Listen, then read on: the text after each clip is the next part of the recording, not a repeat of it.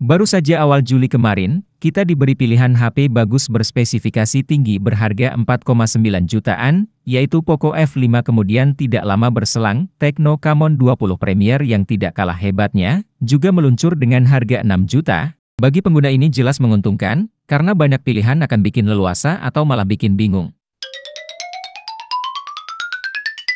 Sudah tahu, mau beli yang mana? Sebaiknya Anda tahan diri dulu, saya akan paparkan satu lagi HP unggulan pilihan, biar membuat Anda semakin bingung. Sekarang, dari grup BBK, meluncurkan HP Oppo Reno seri 10-nya.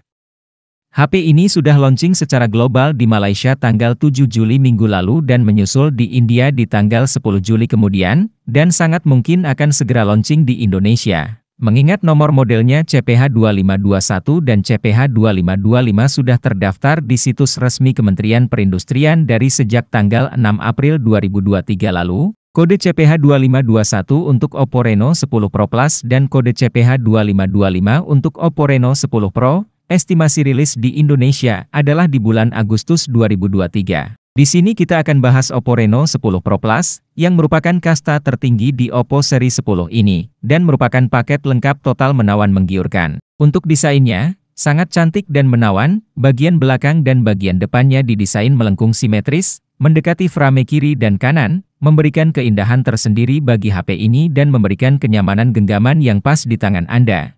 Selain itu desain pulau kamera yang unik berbentuk elips yang dibalut bagian pinggirnya menggunakan aluminium yang mengkilap, ini bisa menjadi pusat perhatian saat mengambil foto. Selain itu desain ini digabungkan dimensi dan berat yang pas, membuat penggunaan lama HP ini tidak akan memberikan efek melelahkan dan juga tidak akan menimbulkan sakit. Bezelnya juga sudah simetris dan tipis sekali. HP ini memberikan keleluasaan kepada customer untuk memilih dari dua varian warna yang tersedia, yaitu glossy purple dan silvery gray.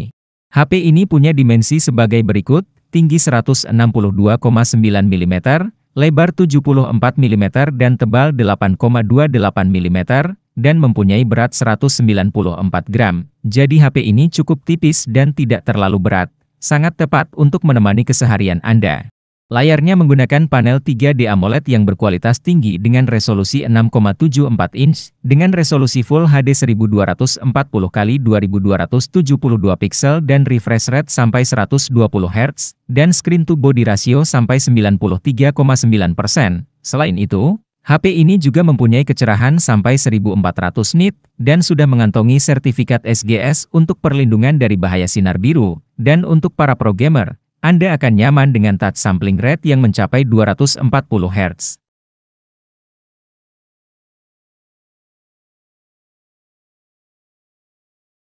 Video dan foto ditampilkan dengan sangat jernih dan detail serta mendalam. Sehingga sangat nikmat untuk berlama-lama dipakai menonton video, bermain game atau sekedar browsing sosmed. Selain itu, sangat berguna ketika digunakan saat pemotretan, karena memberikan preview hasil foto yang akurat dan jelas. Terima kasih untuk teknologi 1 miliar warna. HDR10 Plus dan refresh rate 120 Hz yang memungkinkan semua keindahan itu tersajikan dengan sempurna di hadapan pengguna. Dan satu lagi, fingerprintnya juga ditanam di dalam layar ini, dan sangat cepat. Layar yang spesial ini, dilapisi pelindung Asahi Glass AGC DT Star 2, yang diklaim dua kali lebih kuat dari Gorilla Glass 5. Oppo menjagokan kameranya di HP flagship ini, mari kita lihat setup kameranya. Setup kamera belakang dibekali dengan tiga kamera yang powerful. Yang pertama adalah kamera 50 megapiksel dengan sensor Sony IMX890 ditambah fitur OIS. Sama dengan yang digunakan oleh HP yang lagi hits di dunia, Nothing Phone 2.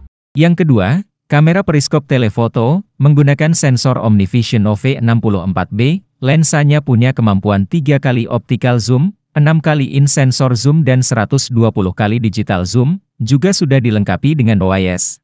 Yang ketiga, kamera ultrawide 8 megapiksel dengan sensor Sony IMX355, ini sama dengan yang di Oppo Reno 8,9 Pro dan 9 Pro Plus. Untuk perekaman videonya, bisa di resolusi 720p, 1080p dan 4K, dan semua resolusi itu bisa dilakukan di 60 fps dan 30 fps. AIS dan OIS-nya mendukung untuk fitur anti-goyang resolusi 1080p di 60 fps. Sementara pada bagian depan, Ada kamera selfie autofocus dengan resolusi tidak tanggung-tanggung, yaitu 32 megapiksel yang terletak pada bagian tengah atas, dengan desain punch hole. Sensor yang digunakan juga bukan kaleng-kaleng, yaitu sensor keluaran Sony Type IMX709 RGBW, sama dengan yang digunakan oleh Oppo Fin X6 Pro, Reno 8, 9 Pro dan 9 Pro Plus. Untuk perekaman videonya termasuk fitur anti goyang, bisa di resolusi 720p, 1080p. Semua resolusi itu bisa dilakukan di 30 fps. Dari segi performa, HP ini ditopang oleh chipset powerful yang biasa dipakai HP khusus gaming, yaitu Snapdragon 8 Plus Gen 1, yang dibuat dengan fabrikasi 4 nanometer dan ditandem dengan GPU Adreno 730. Chipset yang powerful tersebut diimbangi dengan teknologi RAM dan penyimpanan yang mumpuni yaitu LPDDR5 dan UFS 3.1, sehingga aliran data antar chipset RAM dan penyimpanan berjalan dengan lancar. Ditambah lagi dengan teknologi vacuum cooling chamber yang bagus, bikin memainkan game-game berat juga lancar tanpa panas. Oppo juga telah mengembangkan solusi di level sistem, yang mampu mengimprove kehalusan dan stabilitas sistem. Ini artinya, HP Anda akan terus bekerja optimal atau cepat sampai 2 tahun ke depan dan ini sudah disertifikasi oleh TUV Fluency Rating. Hasil, benchmark, HP ini tentu saja sangat memuaskan, Antutu versi 10 skornya 1.300.000-an, Geekbench 5 di 1275 untuk single core dan 3915 untuk multicore.